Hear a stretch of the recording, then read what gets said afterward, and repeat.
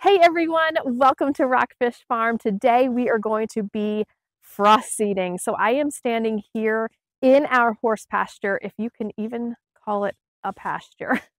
it is full of red Virginia clay and very, very little grass here. So I'm excited to try this method. I've been researching it for a little over a year. We kind of missed our opportunity with it last year. And so I'm excited to try it this year. We typically lay grass seed in, you know, close to, to May.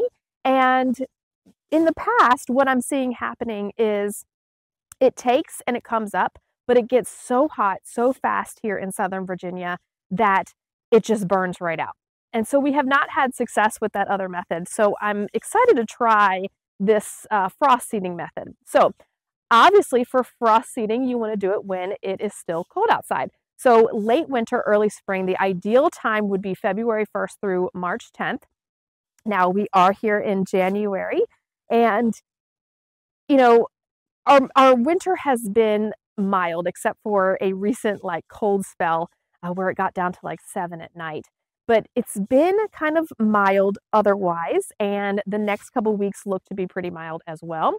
So we want to do this and not miss this window of opportunity. I'm going to try and put just about half the bag down now. And if we need to try to do it again later, then I'll have the other bag to try. This is just an experiment. We've never done this before, but I wanted to walk you through what I have learned and researched about it and what results we're going to get from this. So like I mentioned, the ideal time is from February 1st through March 10th. We are a little bit early, but we want to get that cycle of freezing and thawing. When it freezes at night, it, the ice comes upward out of the ground, bringing soil with it, and which is going to help incorporate that seed into the ground, which to me sounds ideal with this hard clay that we have here. So I'm hoping that is helpful to it as well. So this process of the thawing and freezing is called heaving. Timing is kind of important. I think it kind of depends on what type of grass you are seeding. But if you do too early and you have a super cold spell, then it's could take your grass. But if you do it too late, then you miss that window of opportunity and the benefits of frost seeding.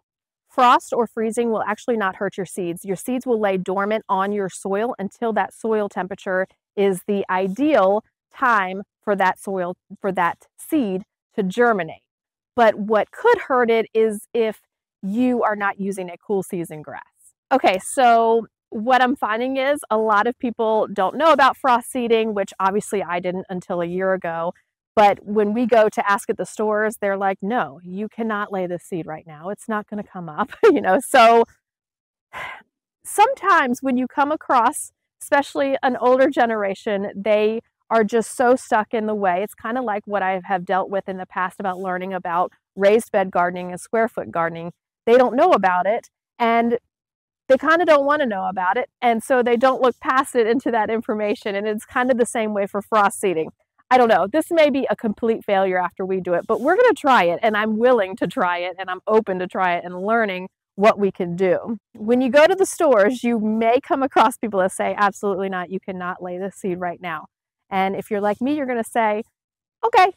And you're going to get the bag of seed anyway, and you're going to come home and you're going to lay it and just see what happens. So, the only thing that we really want to have with our pasture as far as prep work is it to be very low to the ground. So, either take your mower and cut it very, very low to the ground because you want that seed to be able to reach the ground.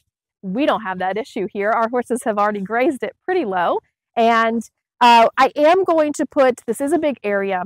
I'm not going to put straw on the entire thing, but I do have a couple bales that we usually keep on hands for our chickens. And I am going to use that in just an area where it is really muddy. There's no grass and it won't even cover that whole area. It's more so just for the experiment of does the straw help it come up or not? Is there a difference? All right, so let's talk about the type of grass seed that I'm laying today. I am laying a an orchard grass and a clover, a white clover. So the orchard grass is a cool season perennial grass. It will germinate in temperatures of 50 to 65 degrees. So the next two weeks is what I'm seeing. We are right in that area of temperature. So we'll see what happens. This is actually the type of hay we use. We use an orchard grass hay for our horses. And so what I'm hoping this helps with, especially recently with hay prices and trouble finding hay, is this will come up during the cooler seasons and give our horses some pasture to eat rather than having to go and purchase as much hay or utilizing as much hay for them in their stalls. Obviously, we're still going to need some hay there. I don't plan on cutting this to use it for hay. I simply just want to get a pasture established. Orchard grass, like I mentioned, is a cool season grass. So it goes dormant above 82 degrees. I saw some things 90 degrees. Either way, when the heat picks up, the orchard grass will go dormant. But I do plan, if this works well, to come in maybe a little bit later and add in some, uh, like a fescue mix too, so that we have some grass during the summertime as well. I'm also adding in that clover, which I'll talk about in a second. So your soil temperature is typically 10 degrees or so less than the temperature in the air. So obviously our soil is going to be a little bit colder, but like I said, it'll just sit there until the soil temperature is at the ideal temperature. So with this being a cool season grass, I'm hoping any frost when it comes up won't hurt it because it's meant for the cooler temperatures. If we had something like a fescue, obviously that may not make it during those uh, very cold temperatures. Okay, so let's talk about the white clover that I'm going to be using. I am going to lay this incredibly lightly. Horses love clover, but it does carry a higher sugar content, which I'll talk about in a minute, especially if you have a horse that has foundered previously like ours has. I also don't want clover creeping into my lawn. So I'm going to lay this lightly and say a prayer that it doesn't end up in our yard. but clover does help with the overall quality of the pasture and the grass. Clover adds nitrogen back into the soil, which is key for grass. So it does reduce the need to fertilize with a high nitrogen fertilizer. It also stays very lush and green looking, so I'm hoping this pasture is going to be looking like that. So like I mentioned, it does carry a higher sugar content. So we have had a horse that has previously foundered, which means she can't have high sugar content uh, in grass, in feed, or anything like that. If we put her out to pasture, she's got to have a mask on. So I'm a little bit nervous about that, but I am going to seed it very lightly just to kind of see what happens. But when you think about the grass, when it is grazed so shortly like this, the sugar content in it is higher. And so by putting in the clover and increasing that nitrogen in the soil and that making that soil a lot better, it gives the grass more nutrients to use because when grass doesn't have the nutrients that it needs, it won't grow. And so it'll keep all that sugar in it. I hope I'm explaining this, you know, well, uh, but it keeps that sugar when it's lower like that. Hopefully, adding that uh, nitrogen into the soil will help this grass grow and overall use that sugar in the grasses to help it grow and in return won't hold all of that sugar. Does that make sense? So with all that being said, we also have a bag of old seed that is just, I think, a fescue. And I'm going to open that and see. We've had it for quite a while. The bag has been rained on, so I don't know how viable it is. We are actually going to put that also down over near the barn, just a trial to see what happens uh, because it's just been sitting in our shed. So we'll use that, see what happens.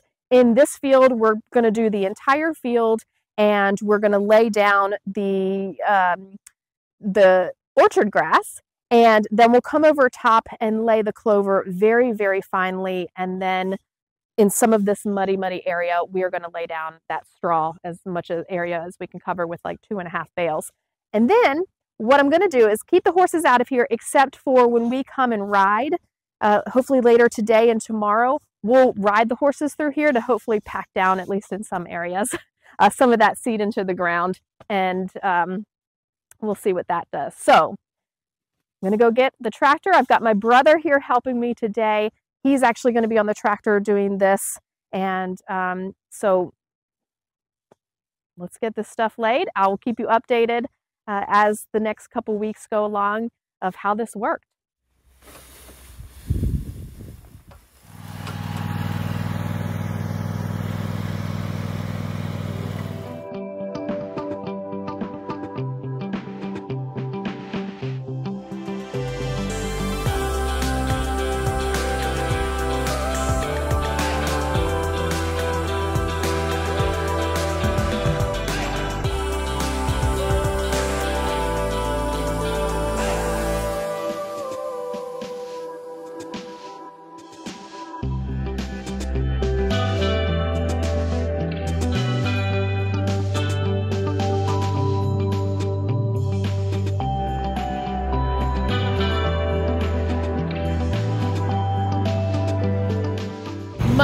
The farm is really great.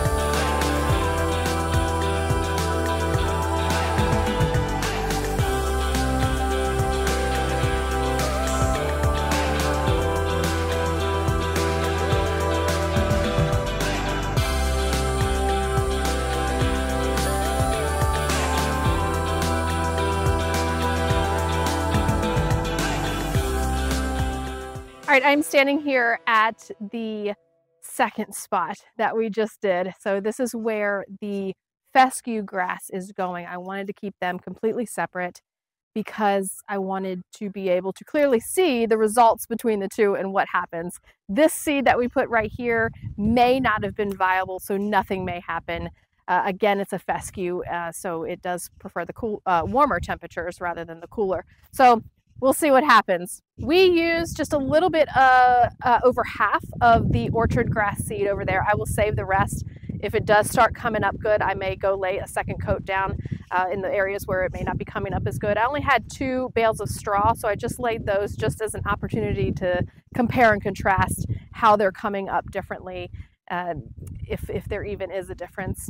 As far as the clover goes, we uh, set the seeder on uh, one, and because the, it was such a tiny seed, it was just pouring out. I think if I had the opportunity to do it again, I might do it by hand or with maybe a handheld broadcaster, uh, because that one it was just pouring out. And so I only used half the bag uh, because I did not want to get a ton of that in there, just to kind of see how that comes up.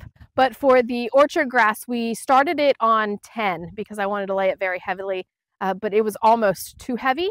And so we went down to seven for the uh, more bare spots. And then we did about five, four or five uh, was the setting we used for the spots that had some grass to it.